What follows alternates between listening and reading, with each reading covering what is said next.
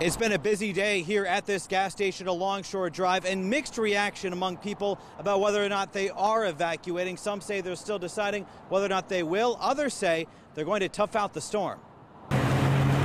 This afternoon, a pop-up shower poured along Shore Drive in Virginia Beach, perhaps a preview of what's to come. And what's to come has some here saying it may be time to go. As it gets farther into the day, um, we're thinking about leaving tonight uh, to miss some of the traffic if possible, but we don't know yet.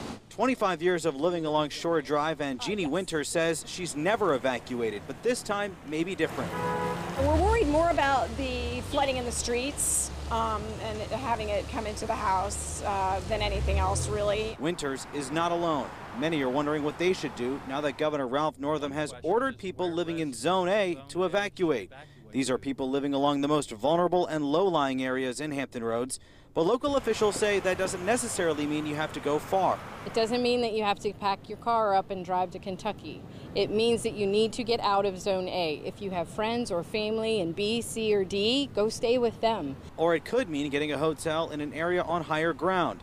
In addition, local cities are opening up shelters to give people places to go close by. If folks don't have friends or family here locally, and if you want to stay here, the shelters will be open for, for those folks to, to relocate out of Zone A. The Navy has authorized sailors and their families, along with civilian workers and reservists, to evacuate if they live in Zone A. Rear Admiral Chip Rock says they can go within a 500 mile radius of Asheville, North Carolina. You, you cannot take this, this storm lightly.